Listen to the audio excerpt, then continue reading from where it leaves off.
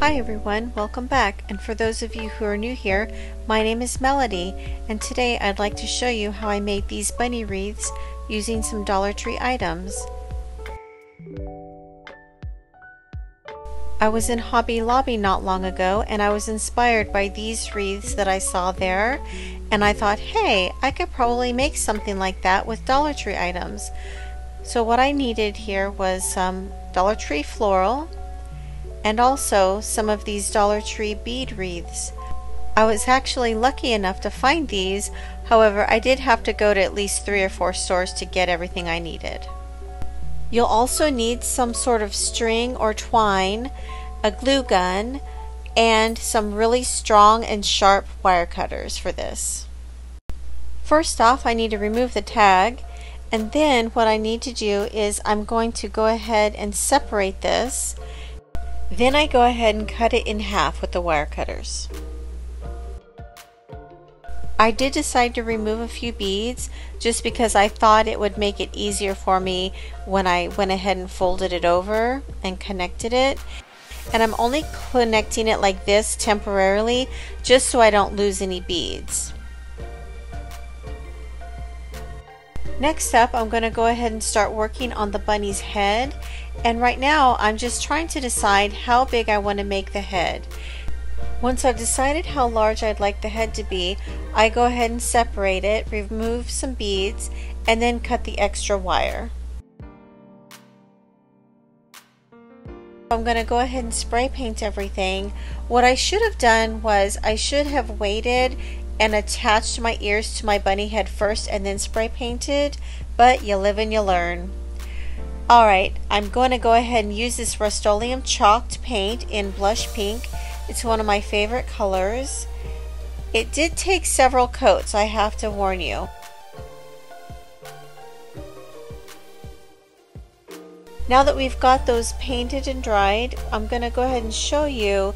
It was a little difficult to get in the nooks and crannies here, as you can see here, so it might be better to hand paint that. However, I was okay with the way it turned out.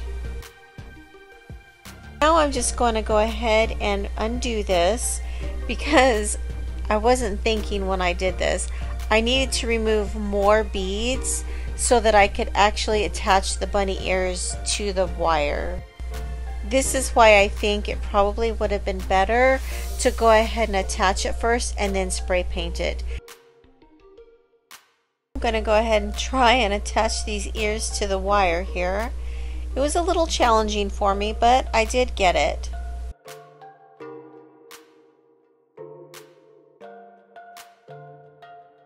I tried to get a close-up for you so you could see how I attached it. I just went ahead and bent the wire around the wreath.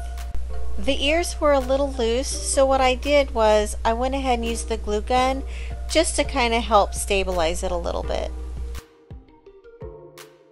Here are the florals I picked up from Dollar Tree. My bunny's looking a little bland right now. Don't worry, we'll cover up those bald spots with the floral. This is the fun part. Just go wild. Do anything you want with it.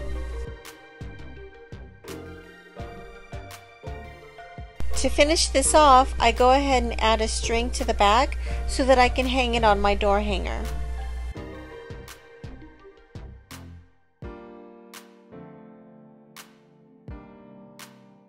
For this next wreath, I'm basically doing the same thing. The only difference is I am going to attach the ears without removing as many beads. That's because for this wreath, I really don't want to use any floral. What I'm trying to show you here is keep this at the bottom. You'll see later I didn't. As I was working with the ears, I had somehow moved it.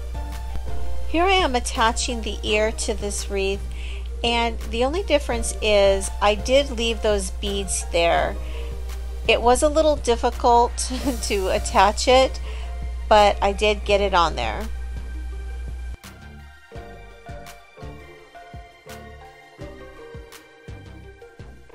And here it is.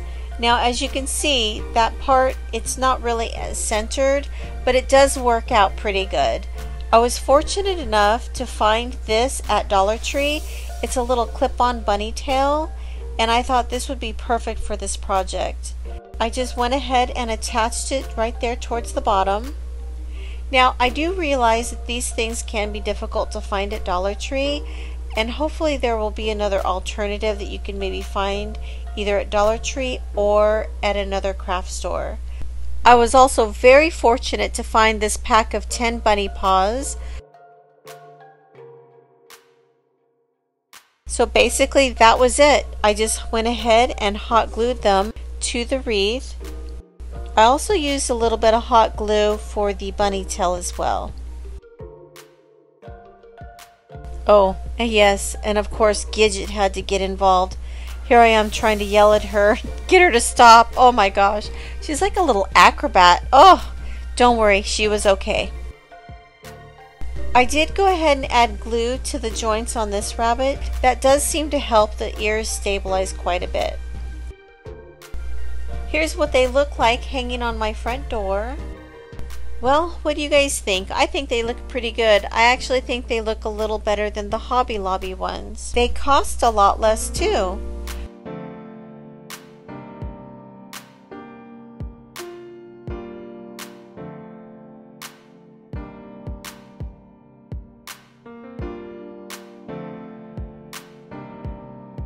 I hope that you enjoyed today's craft idea and I hope that I was able to inspire someone. Thank you so much everyone for stopping by. I really appreciate it. I hope you all have a wonderful day. If you enjoy this content, please consider subscribing. Thank you so much everyone. I'll talk to you soon. Bye bye.